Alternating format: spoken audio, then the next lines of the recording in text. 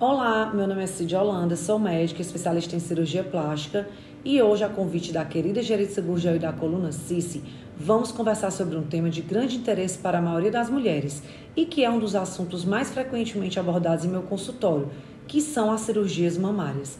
Para nós mulheres, as nossas mamas são o principal símbolo da nossa feminilidade.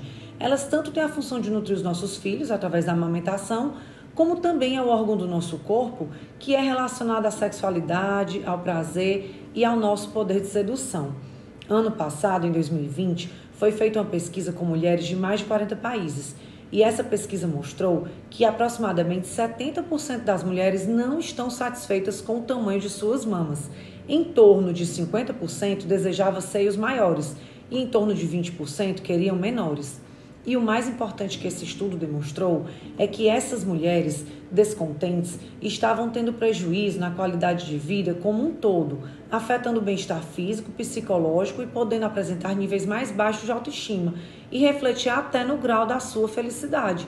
É por isso que esse assunto tem tanta relevância, pois é importante saber que para a maioria das queixas existe tratamento cirúrgico e que após a cirurgia essas mulheres melhoram e muito a qualidade de vida, se sentindo mais confiantes, mais seguras e mais bonitas para correr atrás dos seus objetivos e enfrentar os desafios. Os tratamentos cirúrgicos variam, desde a implantação simples da prótese de silicone para aquelas pacientes que desejam mamas maiores, passa pela mamoplastia redutora, que é a redução das mamas das que desejam mamas menores, até a cirurgia de mastopexia, que é a cirurgia de elevação das mamas que ficaram flácidas e caídas após a amamentação, perda de peso ou até mesmo pelo envelhecimento natural da nossa pele. Essa última mastopexia pode ser realizada com a colocação de silicone ou não.